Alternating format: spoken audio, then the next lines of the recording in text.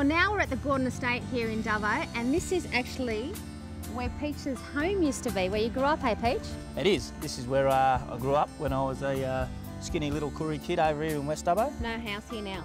No, it's not.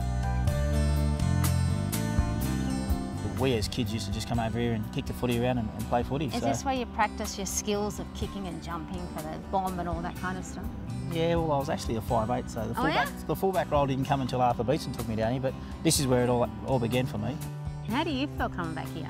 To actually just walk through here, it, it does, it, like you said, it brings back a lot of memories. I mean, as kids running around here, every morning walking across to the bus stop, And you played for the uh, Rabbitohs and the Sharks. When you were a kid playing here, who, who did you barrack? Tigers. Ah, Yeah, so- why?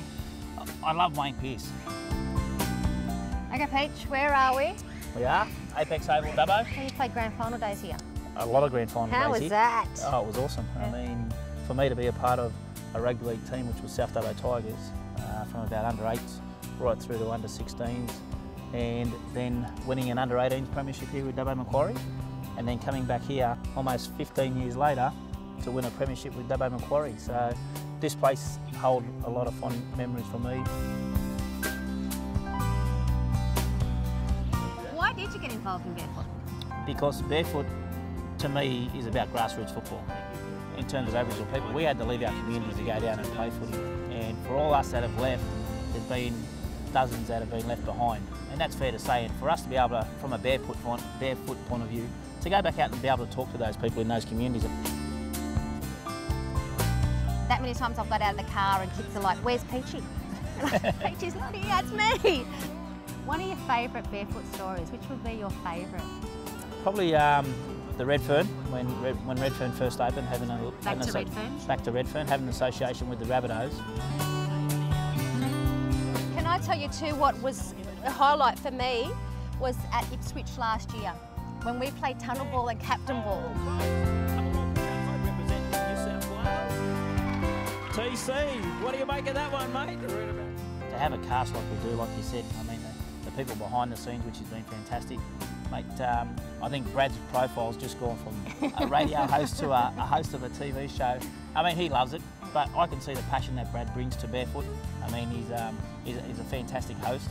But uh, the thing I know about Brad is that he, he knows a lot. He's an avid fan, and to be able to put him in front of a camera, that's where he works so well.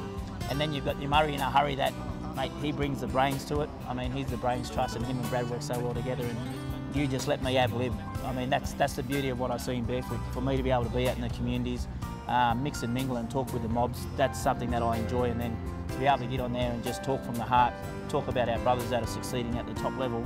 But then on the flip side of that, for us to be able to come into communities and talk about where, where everything started. What I've learnt the most from you is your honesty, even though sometimes not giving away too much. It's the pure honesty, the strength of a black man, the determination, the love of your family, the, and the loyalty. And, and yeah, this guy's always looking out for me. We're just down the other place and there was a puddle and he said, Paula, watch out for that. you know, it's a pleasure to be associated and work with and have and be friends with a strong, loyal Aboriginal man. And um, good luck, good luck, hey?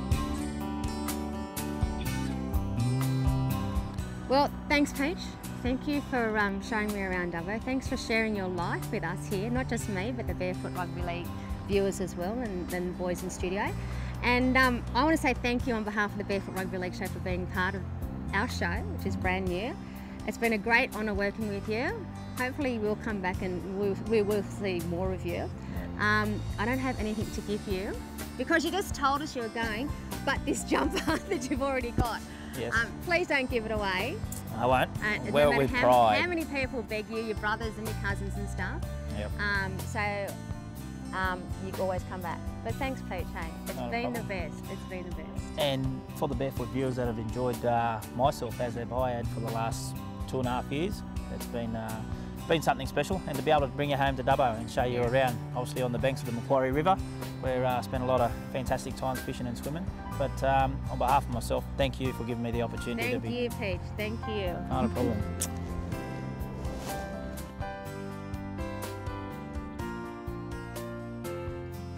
Gonna play some short ball, buddy.